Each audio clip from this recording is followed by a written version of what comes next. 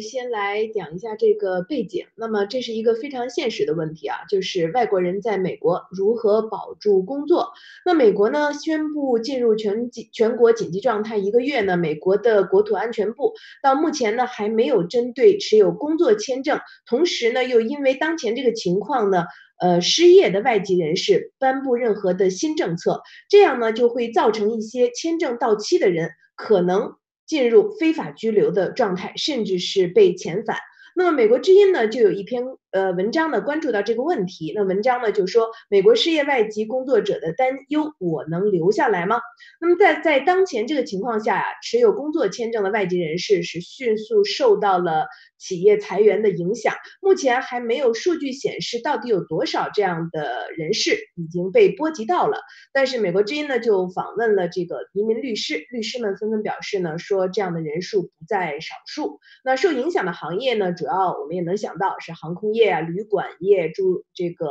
呃，餐饮业呀，娱乐业，还有实体店的零售业，包括这些行业呢，呃，里面做信息技术和财务会计的专业人士，为什么专门提到信息技术和财务会计专业人士呢？那么在中国籍在美的工作者中呢，做这两样的。人呢占的人数比较多。那通常的情况下呢，是持有工作签证的外籍工作者在离职以后呢，会有六十天的缓冲期，那么就可以利用缓冲期来离开美国，或者是找其他的工作，否则就会失去合法的身份。但是呢，如今的情况下呢，离开有问有有这个困难，那么买机票也不好买，那么找工作呢也找不到。那美国移民律师协会呢，就在三月中下旬啊，向国土安全部下属的美国公民以及移民服务局，也就简称是移民局，来发出了信函，希望该局呢颁布新的政策，那么就将失去工作后这个缓冲期。呃，延长到九十天，这样呢就可以让这些在这种当前的情况下呢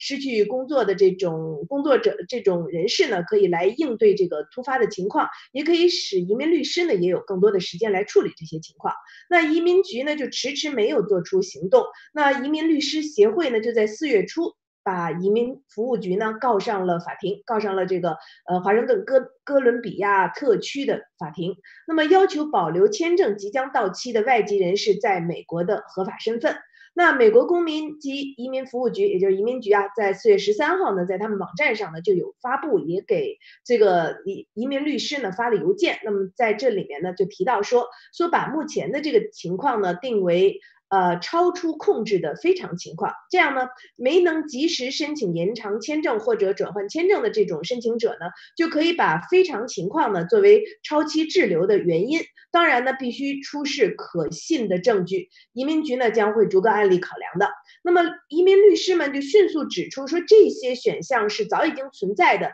但这些选项呢，完全不是针对当前这个非常特殊的情况来制定的新的政策。那美国移移民律师协会呢，就它有一个政府关系部主任沙瓦利。达拉戴尼他就认为说，移民局做的非常不够啊，只是重复已经有的政策，不得不仅是不能延长这个缓冲期，而且呢，移民局还在两周前宣布呢，因为当前的卫生事件呢，他们会延缓处理手头工作的事务。那么这位女士就说呢，就如果他们认识到自己需要时间，那他们也应该认识到。其他人，他们的客户也同样需要更多的时间来适应这个新常态啊。那么他们只考虑到了自己。那密歇根州的移民律师迈克尔·诺兰呢，就表示对移民局出台新规定呢持有悲观的态度，不是太。看好，他说我不认为他们在试图做出任何改变，而且他这样说的，他说如果移民局啊向美国移民律师协会如果能够透露出他们有出台新政策的意愿的话呢，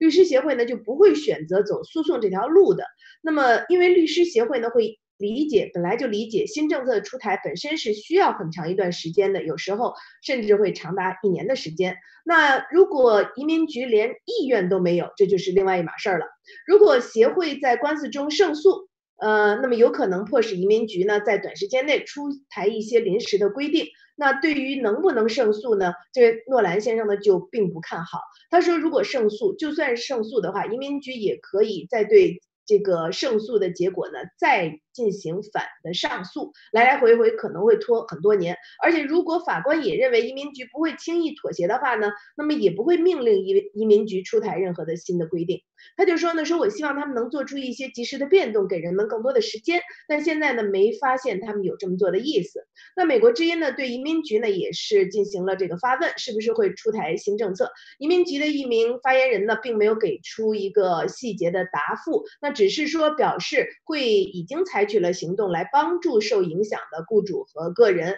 并且呢是持续的观察来评估与工作签证有关的选项，而且呢会保持及时与公众。的沟通，那这份报道中呢，也介绍了背景方面的情况啊，就是根据美国移民局的有关规定是这样的：一名外国人如果在签证过期一百八十天后不离开美国的话，将被禁止入境三年；那如果非法滞留美国一年以上呢，将被禁止入境十年；如果被发现在签签证过期的情况下继续工作，将被遣返。那律师们就表示说呢，说目前对无法继续工作的外国人来说，想合法留在美国，首个选项就是转换签证，这是一种方法。那么新为民律师事务所的蔡律师呢，就说说找不到工作的外籍人士可以申请将工作签证转换为访问者签证，那么就是 B 类签证，或者是学生签证，就是 F 类签证。如果这些人的配偶有独立的工作签证身份，那么就是这个 H1B，那么他们呢可以。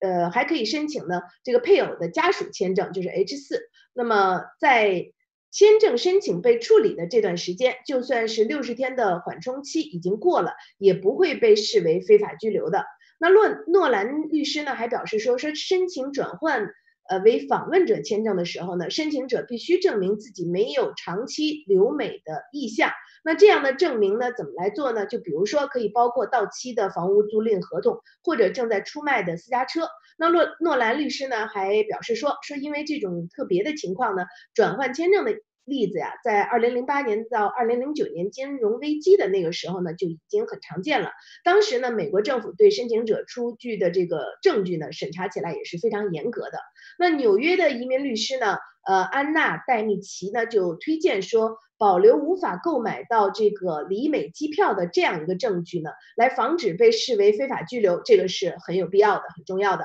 那除了工作签证以外，移民局呢也没有出台针对以工作为基础的绿卡申请者的新政策。那诺兰律师呢就说说绿卡申请者呢在程序末尾的面试的时候必须是要有工作的，那如果是在这个申请的期间被开除了，也必须在面试的时候呢要拥有一份与先前工作性质类似的这样的其他的工作，那才能通过绿卡的申请。如如果呢除了这个。末期的面试呢，申请程序中要任何的时间段里面，雇主、雇员、工作职责、工作地点这四个元素都是不能改变的。那么任何一点如果变化了的话，整个绿卡的申请程序呢就必须要从头再来，重新开始。那么，而在这个申请程序早期的评估当中呢，申请人的雇主必须证明雇佣申请人之前已经进行了长期的和广泛的人才搜寻，而且呢是能够证明没有美国公民、没有永久居民或者其他美国劳工有资历的，并愿意胜任该工作。那么这一条呢，想要证明这一点呢，在当前的情况下呢是尤为不容易，因为现在美国已经有多达两千两百万人失业。那诺兰律。是呢，就说说持有工作签证的人和我们并没有什么不同，我们有的烦恼他们也有，那么他们也会为钱来发愁，也会担心能不能及时的回家照顾孩子啊，做晚饭呀等等，任何的这些生活上的小事儿，大家的烦恼呢都是相通的。但除了这些以外呢，这些人和我们不同的呢，就是能不能留在这个国家是他们所有的烦恼的核心，所以失去工作给他们带来了非常大的压力，这触及了那个核心，就是。我能留下来吗？那马驹先生，我想您已经联系到李律师了，对吗？是的，我已经联系到了李律师。李律师呢，现在就在我们的线上。那我们是通过电话的。李律师呢，刚才也全程听了我们韩奎女士的播报。那么就是一个核心问题，像现在他的签证恰好在这样的一个时间段到期了，该如何去处理呢？我们想请问一下我们的李静静律师的，比如说有很多种人，一种人呢就是我看到有一位来自于这个欧洲的一位夫妻呢，他们有一个愿望就是要游历完全世界。那么他们在三月份的时候呢，二月份的时候，他们的飞机乘坐飞机以及通过这个呃开车呢，他们从加拿大呢进入到了美国。那么他们在美国以后呢就被封闭了。那么他们现在没有办法离开美国，而四月十四日呢，他们的签证呢就已经到期了。他们现在是没有地方去住，他们也没有更多的钱，所以他们呢一直住在自己的所驾驶的那辆汽车上。那么现他们现在呢被困在一个停车场。那么他们也遇到了签证到期而向移民局申请的时候呢，又出现了移民局的工作效率的不断的降低。那么这对于他们来说是一个很艰难的事情，他们非常担心自己会有不良的记录。那么像类似这样的情况，会有不良的记录记录在美国的移民局，而导致他未来没有办法来这个再次到抵达美国或者是拿美国的签证，会造成一个阻碍吗？有这种可能性吗？逻辑上，把距离好。哎，您好，各位听众好。逻辑上存在的，但现实当中不会有什么大的危呃那个不良的记录。呃，Number one，第一，就说他已经申请延期了，是吧？你刚才说，如果延期了以后他不批，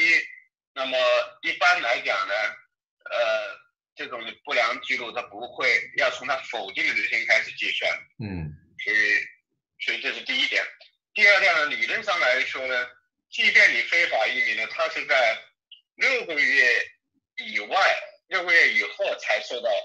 法律上的处罚。那么六个月以内，你不违法一天也算违法的，这是这种情况属于自由裁量权。我讲的是再进入美国的话，它属于自由裁量权。一一般来说，遇到这样大的这样疫情，那么美国政府会给原谅的，所以。即便有那个六十天呢，就违反了六违反了美美国这六个月啊，不六十天，半年在美国最高拘留的是一百，呃是三年不得入境的处分，超过一年是十年不得入境的处分。那这种情况呢，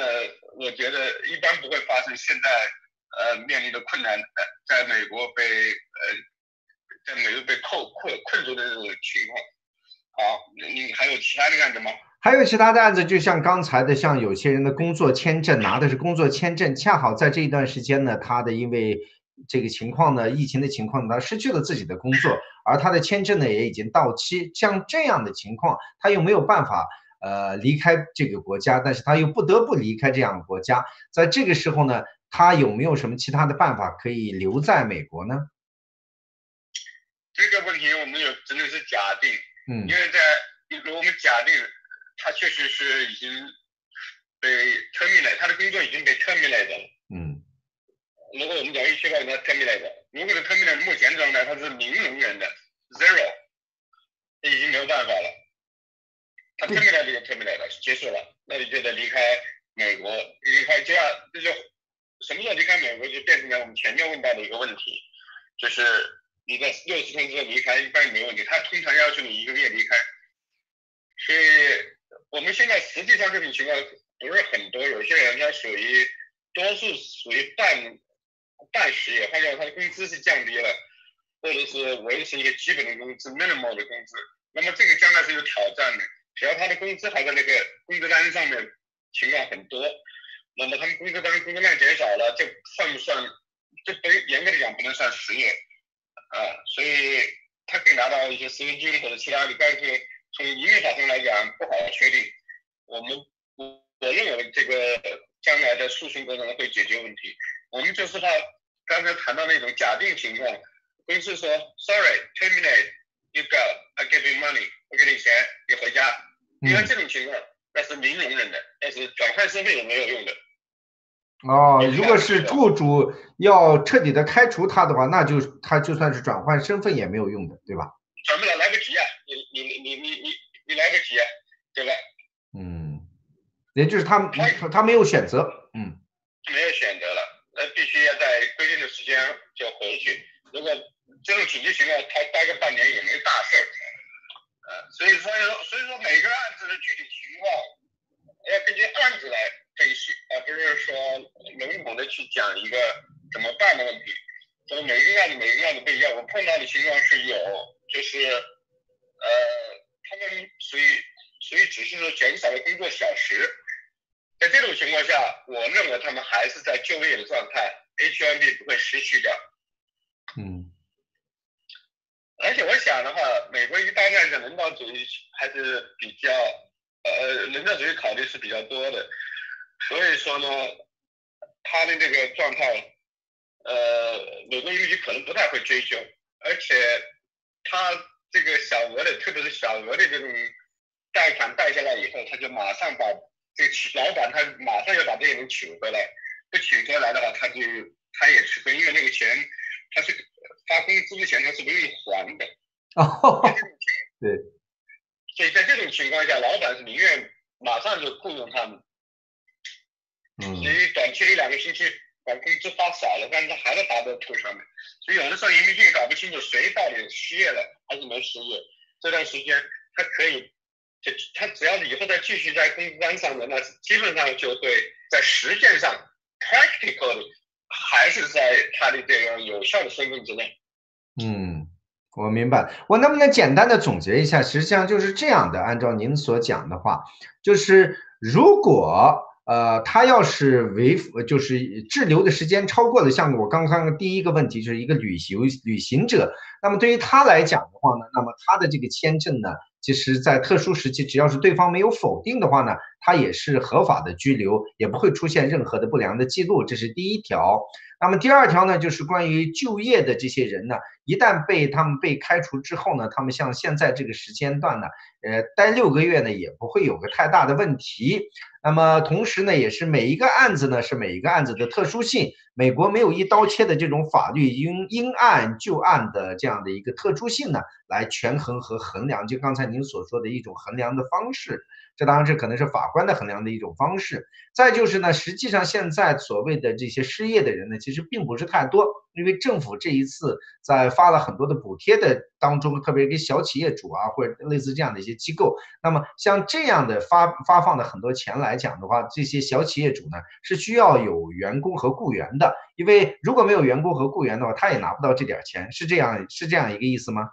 对对，基本上是这样的意思。对，嗯。好的，那么您刚才这样一讲之后呢，我觉得呢又出现了更多的一个希望，也就是说呢，人道主义或者人道主义关怀和思考虑呢，在美国的不管是移民局也好，各个部门也好，都是作为一个呃重要选项来参考的，并不是说呢，哎，你被失去工作的明天你就会要必须被驱离出境或者是等等，每一个案子呢都有它的特殊性，这些案件呢也会因为特殊性呢而适用的法律或者适用的标准呢会不一样。呃，非常感谢李律师，谢谢您。好，谢谢，谢谢，谢谢，再见。嗯，我们的李律师呢是非常权威的人士啊。那么他每一次呢，我们有重大的这种情况呢，都会来咨询他啊。他也是我们的这个法学的博士，而且是宪法学的博士啊。这个呢，在和普通的律师呢，还是有很大的一些区别。他不是一个简单的律师执照，而是一个宪法学的博士。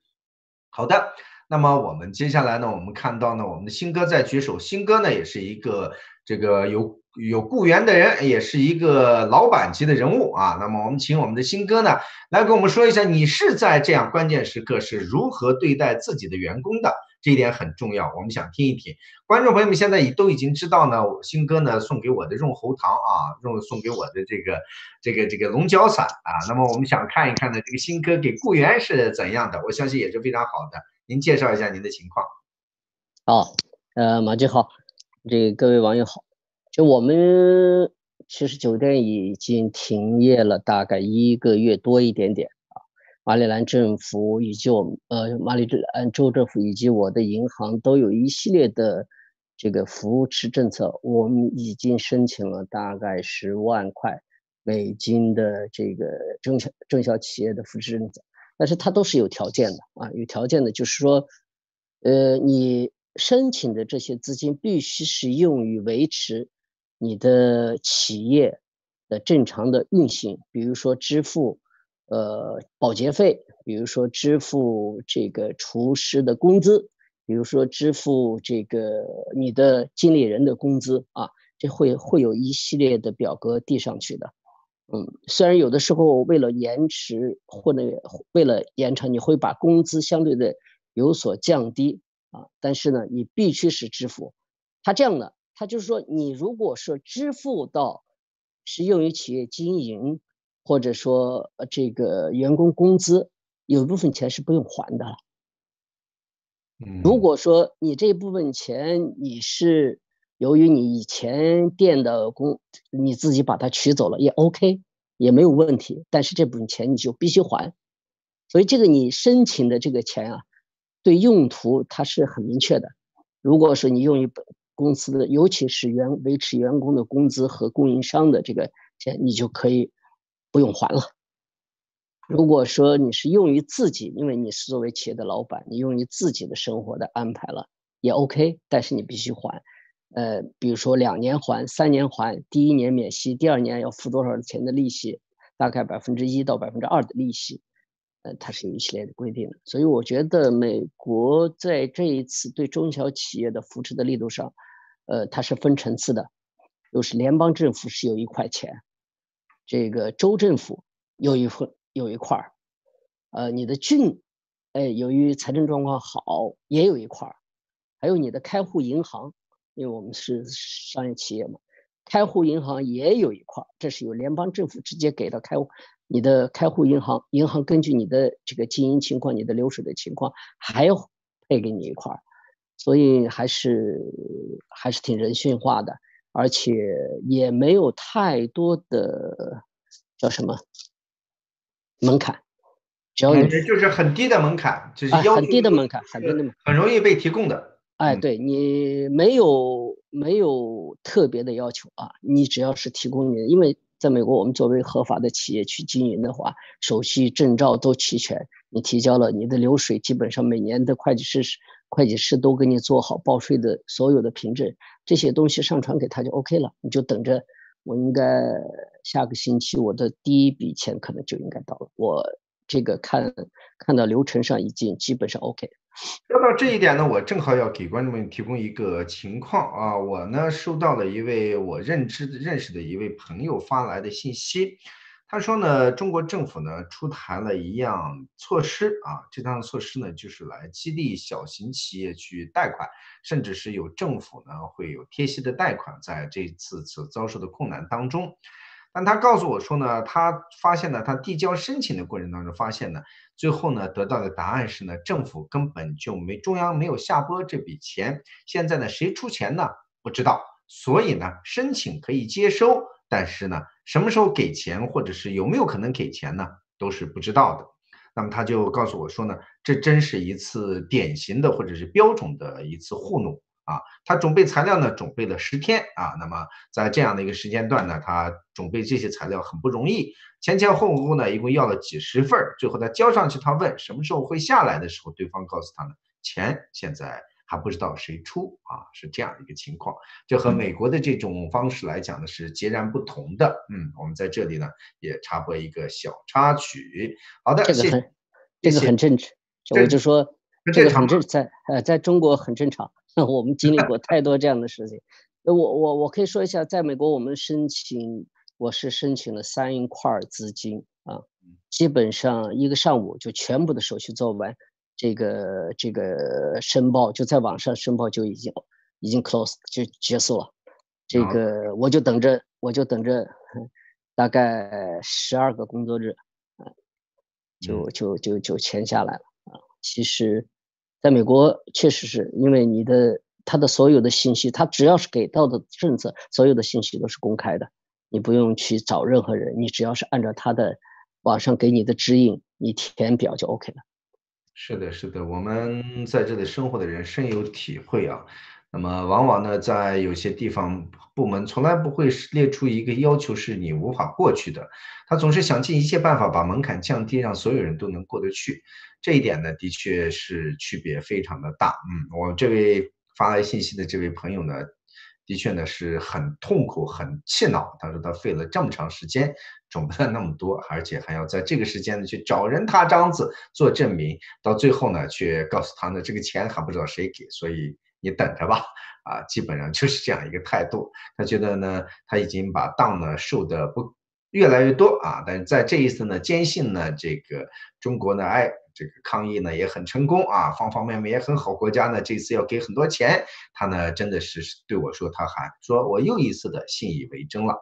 好的，谢谢我们的新哥，谢谢我们的其他网友的这个亲情参加。我们请我们 YouTube 平台的朋观众朋友呢，能够给我们点个赞，转发一下我们的节目啊。今天呢，因为没有推送，所以呢，观看人数呢并不多。但是呢，他这我们依旧会很热情的呢，给观众朋友做节目，做好每一期的节目。那么也希望大家呢能够鼎力的支持我，点个赞，转发一下。这是对我们现在呢最好的支持的方式之一啊！希望大家呢能够不吝。我们生活在史实中，人类从来没有过十亿人同时宅在家中。我们依然看到太阳，我们依旧看到星星，只是比从前我们对生活更热爱，我们对生命更珍惜。告诉我吧，你在烧什么菜？你在跳什么舞？你在唱什么歌？还是你与亲友亲心？还是你在感悟人生？展现你的手艺，展现你的才华，展现你的爱心，让你的美好传给世界上同心之人，传给五百年后的新人类，让全世界一同宅家乐。大家电视台，大家一同宅家乐，征集对生活的热爱，请到油管寻找大家电视台。Hashtag Stay Home，Hashtag With Me，大家一起宅家乐，期待你的作品，详情请咨询屏幕上的邮箱地址。如何才能参与大家电视台全新举办的宅家乐活动呢？Hashtag Stay Home，Hashtag With Me。您可以制作展示宅居精彩生活的各类视频，比如厨艺、健身、歌唱、影评都是可以的。不论您是刚刚学会用手机自拍的初学者，还是视频制作高手，都欢迎哦。嗯，狗狗出镜也欢迎哦。第二步呢，就是上传您的作品给地球这端或者那端的我们，让我们节目组收到您的精彩作品。我们推荐您采取云端共享的方式把节目交给我们，当然您也可以用电邮附件寄送，或者是把节目上传至个人油管，并且分享链接给我们，发送到屏幕上您所看到的电邮地址就可以了。确认您的节目符合标准之后，您就可以与全球网友一起分享您的宅家精彩生活了。嗯，还有狗狗。然后呢，我们会依据网友的观看和点赞次数评选每周、每月、每季，还有总冠军的 Top 榜单哦。有问题别迟疑，上传节目接收邮箱，同时也做答疑使用。记得油管搜索并且订阅大家电视台，Hashtag Stay Home，我们一起宅家乐。Stay home with me，我们一起宅家乐。